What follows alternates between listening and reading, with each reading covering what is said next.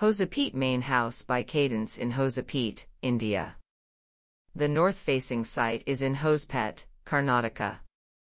We conceptualized the home as a series of volumes coalesced together. To achieve this fluidity in the space we looked at an animated section that varies along the length of the home. The varying roof profiles of the house create a play of volumes and spaces in the interior, making it a sensory experience. Given the harsh climate in Hosapete, the plan was configured to block the sun in the west and the south while the home opens towards the garden in the north and the east. The traditional open-to-sky courtyard has been reinterpreted as a landscape platform with an operable skylight.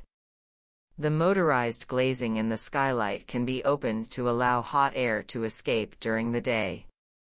The muted finishes in the interiors drape the architectural shell, accentuate the geometry, and render warmth to the space.